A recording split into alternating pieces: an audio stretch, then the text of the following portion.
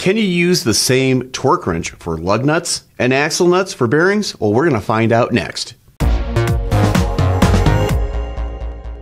This video is sponsored by BCA Bearings, the number one supplier of OE quality hub assemblies. Visit bcabearings.com for more information.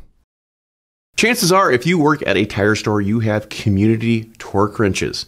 These are at the shop for tightening down lug nuts for customers' vehicles after the tires have been replaced.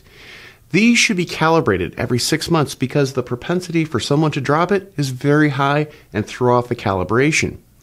But for axle nuts on wheel bearings, you need to use a special torque wrench or a designated torque wrench to tighten down that axle nut.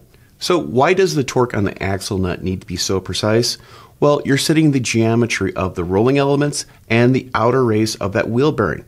In other words, the preload.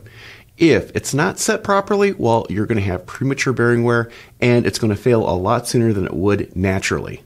So to make sure that you're tightening down that axle nut to the precise torque specification, make sure your torque wrench is properly calibrated. Typically, if it's your own personal torque wrench, it should be calibrated annually.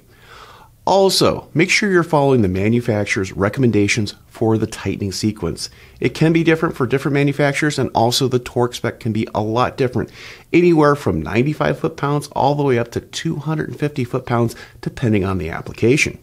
So make sure you're using the right torque wrench for lug nuts and axle nuts. No matter the torque wrench, make sure you're winding it down to the lowest setting at the end of the day to make sure you're not throwing off the calibration on that torque wrench. Because if you leave it at the highest, chances are the spring inside will become stretched out and you won't get a proper torque reading.